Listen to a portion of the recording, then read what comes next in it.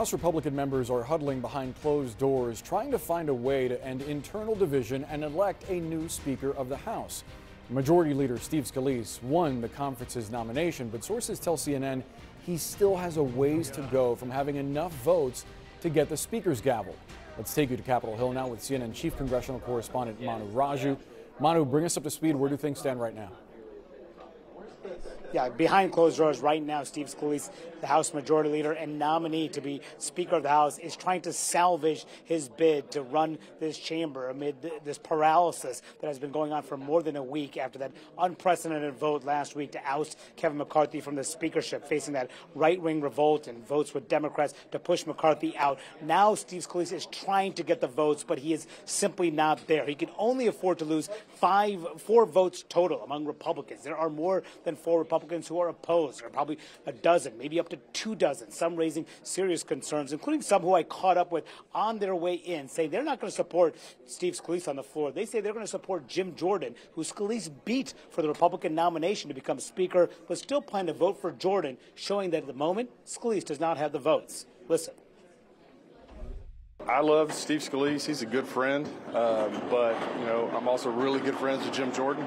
It's a tough, tough choice for me. Uh, but right now, I think uh, Jim Jordan is closer to the magic number. I'm never going to just say I'm a I'm a never so and so. You know, we're adults. Let's go figure out how to lead. But I'm not in a uh, positive place right now with respect to Steve. Now, in this meeting, members are going up to the mic, raising their concerns. Scalise is trying to answer each of these concerns. We're told that he has pushed back, or at least indicated uh, that he could do the job amid concerns over his own health. Scalise is battling blood cancer right now, but a treatable form of blood cancer. He says that he is in good condition to do that. He's also told the members he's not cutting any side deals, not making any concessions with members in order to win the speakership. So he is indicating he is not dropping out at this moment, even though it road to the speakership at the moment appears very, very grim. Can he get there? Scalise still believe he can. Unclear, though, when the vote would happen on the floor or if this, these types of meetings behind closed doors will continue on until Scalise believes he has the votes to try to push it to the floor, try to dare his members to vote against it. That remains an open question here as the House remains completely paralyzed as the speakership crisis plays out. Uh, let's discuss with a Republican who will weigh in on that race. Colorado Congressman and Freedom Caucus member Ken Buck joins us now. He's a member of the Foreign Affairs and Judiciary Committees. Congressman, thanks so much for sharing part of what I assume is going to be a busy afternoon for you. Uh, members are right now behind closed doors with Congressman Scalise answering their questions. How come you're not there? because I'm here. Right. I have talked to Steve. I spent a half hour with him last night and had a great conversation with him. And I, I told him I would not hold up his nomination. If he gets uh, close, I will uh, support his nomination. So you did voice some concerns about him, though, and, and you did tell my colleague Kaitlan Collins that uh, you had more you were seeking more answers from him on what specifically? Well, uh, for one, I want to know whether he's going to put a Ukraine funding bill on the floor. Right now, we have uh, the the idea, I guess, that we would support have a, a, supplemental bill for Ukraine and Israel, and I want to make sure that those those bills come to the floor so members get to vote on it. You would support combining aid for Israel and aid for Ukraine. I, I would support them separately or combined. Uh, excellent. So you uh, noted yesterday that there are some seven Republican colleagues of yours that are uh, firmly against Scalise, some others, perhaps seven or so, that are undecided.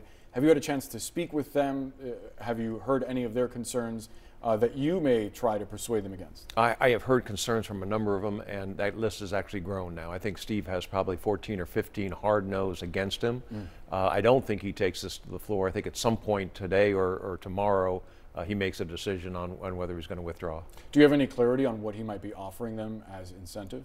I, I think just answers. Uh, just like I had c- concerns about a Ukraine uh, and, and Israel supplemental bill, I think they have concerns about other issues and they want answers. And so, well, for example, Marjorie Taylor Greene is concerned about his health. Uh, Nancy Mace is concerned about uh, his past links to white supremacist groups. Uh, you had voiced concern about him not publicly stating that Joe Biden won the 2020 election fair and square.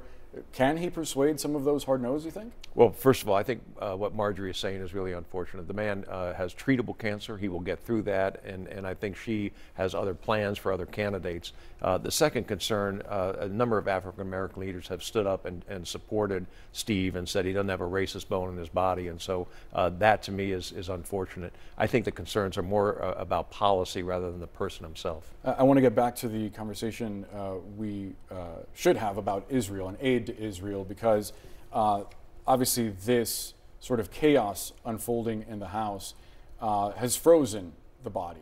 Do you, do you have any concerns that it might delay aid to Israel, this ongoing fight over Speaker?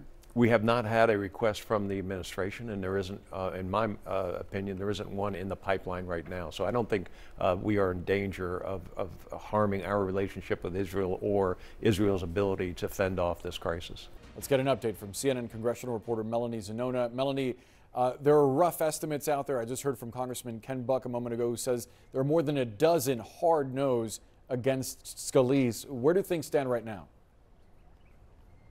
Well, Boris, at this moment, the prospects for Steve Scalise are very grim. He is meeting behind closed doors. He's trying to assuage these holdouts, trying to convince them that he is the right person to unify the party. But we're being told that he is failing to unify the party in there and that he is not moving the needle whatsoever at this moment. And we're actually told that there are over 20 holdouts at this moment, a list that is only growing. In fact, just to give you an example, Anna Paulina Luna, she's a congresswoman, last night told us she would be behind Scalise, but she came out of that meeting today saying she is not going to be backing Steve Scalise. So it is trending in the wrong direction for the congressman. Now, Kevin McCarthy, his the former speaker, knows the situation all too well.